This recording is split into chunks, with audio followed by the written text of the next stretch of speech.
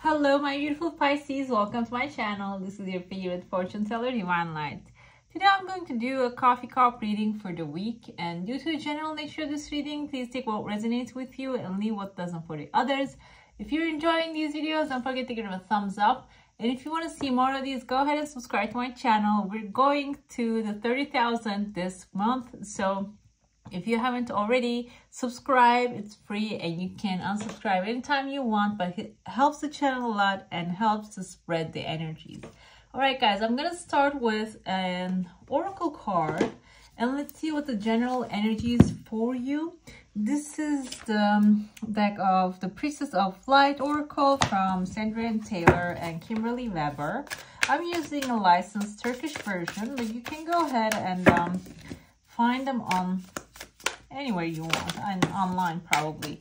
Okay let's see what the general energies are for my beautiful pisces for the week. What do you need to know? Okay uh the lake of blessings okay? Get rid of um, limitations. Getting rid of limitations and this is the number 47 you can see the leopard energy behind her so there is going to be you can see the light that she's forming. So uh i said she but this is genderless so you can take it however it resonates with you. There is going to be a moment this week that you're gonna actually just free yourself from all kinds of limitations which will help you um manifest this energy of abundance into your life okay that's how i feel. The message is resonating. And i'm gonna get into your cup now and let us see what is actually going to be happening. Okay i see a crowded cup. On the bottom of the cup there is a crescent moon also like a full moon. You can see the crescent moon when i turn it around like that. There is a crescent moon right there and overall there's a full moon. Full moon the ring usually indicates commitment marriage. If you are looking for marriage looking for commitment somebody is actually going to be coming towards you with an offer or maybe you're gonna be deciding that. This can also be commitment to a job to a place. Maybe you're gonna pack up and move to a new place because there is a path opening up for you. And this looks like actually a fish head I think one of the readings had the fish head person, maybe Aquarius. Um, so fish, you are a fish, you're the Pisces. Also, they indicate fishes are symbols of money, wealth, and abundance in this kind of readings. So there's going to be a rush of um, abundance coming into your life. And there's a white paper showing here. There's a legal matter. If you're going through a legal thing that is going to be resolving. And there's also another ring right there. You can see the ring clearly. So definitely a commitment showing up for you. Like I said, this doesn't have to be romantic thing. If you're not looking for romance, can be someone that is actually um, going to be committing themselves to you or uh, like um, can be a new job and I see a letter E and V. Let me tell and M, maybe Emily or like um someone's in their first name or the last name. This words can be or the place. And um I'm gonna tell you another thing. Okay, I see E and M. Also, this looks like E and V to me. So this actually means home, house, home. They mean the same thing the, the word in my language. So if any of you planning to move and buy a house and become a homeowner, there is also a roof showing here. So following this week, you're going to start manifesting this, okay? You're attracting the right people in the right places. Maybe like there's actually another roof here. Maybe you're changing in place, your place, um, or finding the right spot to move in can be like an ideal best place for you, your environment. Maybe if you have a pet, you're going to find somewhere that is very compatible for your pet to, you know, um, enjoy themselves. But I feel like there's something home related, house related is going to be happening this week for you.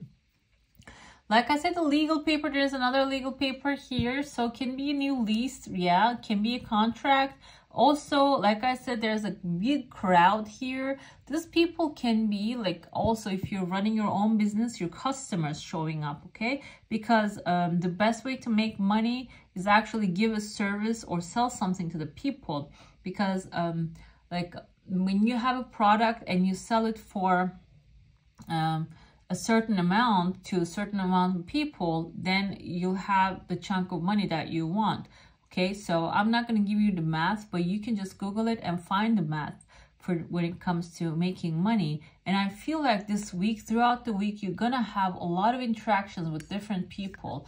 And there are some things happening here that just you put some roots down. You see, like you planted the seed and the seed is not showing it because it's growing roots down. Because there's some things, there's some plants actually, when you plant them, you don't see the, the ground, the earth is moving for a very long time because the roots grow deeper, faster than the top of the tree.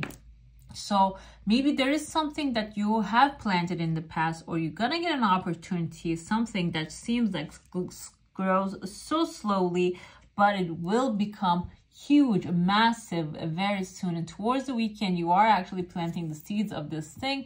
And there's a male figure here. He's just sitting on a throne. So this looks like someone with authority and power.